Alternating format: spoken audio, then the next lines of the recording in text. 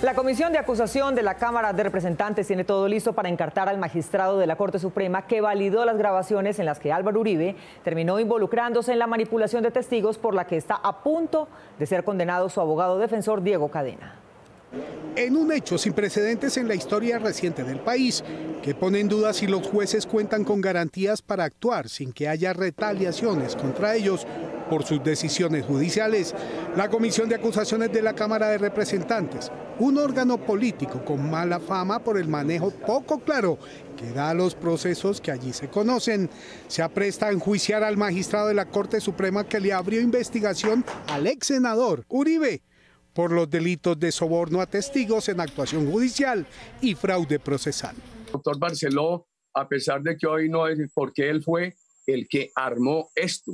Después de múltiples veces en que el ex senador acusó públicamente al magistrado José Luis Barceló, el representante del uribismo Ricardo Ferro, quien acaba de retirarse de la misma comisión de acusaciones, denunció al ex tocado. Tiene que ver con la reserva sumarial. Esa comisión está compuesta por 16 representantes a nombre de sus partidos.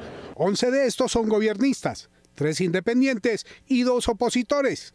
Los 16 miembros de esa célula serían quienes discutirían el caso del ex magistrado Barceló. No sé y desconozco los motivos. Después de realizar inspecciones judiciales en la Corte Suprema de Justicia, los representantes investigadores Eduard Rodríguez del Centro Democrático y Mauricio Toro del Partido Verde citaron a Barceló a versión libre por la supuesta interceptación ilegal del expresidente. Se ordena recibir en versión libre al magistrado Barceló Camacho para que pueda participar activamente en la práctica de todas las pruebas que hayan de realizarse en lo sucesivo, garantizándole a plenitud su derecho de contradicción. Los representantes investigadores revisarán cinco procesos penales que la Corte Suprema está adelantando en contra del representante liberal Milton Córdoba Mayoma, en uno de los cuales, en que se había ordenado interceptarlo, se grabó una conversación con Uribe.